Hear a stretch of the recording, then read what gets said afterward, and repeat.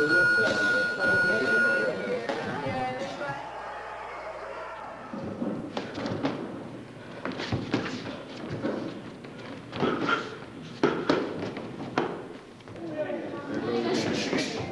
baby.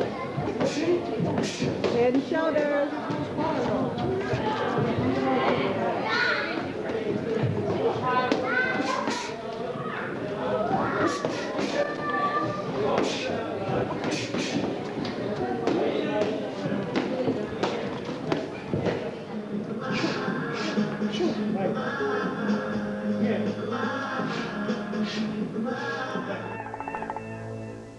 Gave us honor and dignity through, through his fist.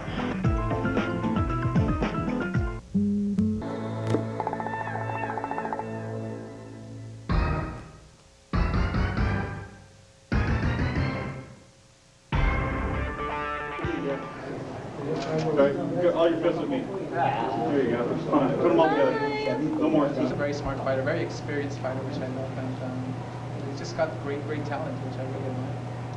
Top three greatest Filipino boxers. He's third only to International Boxing Hall of Fame in Chinese Pancho Villa and Gabriel Flash Elorde. He's one of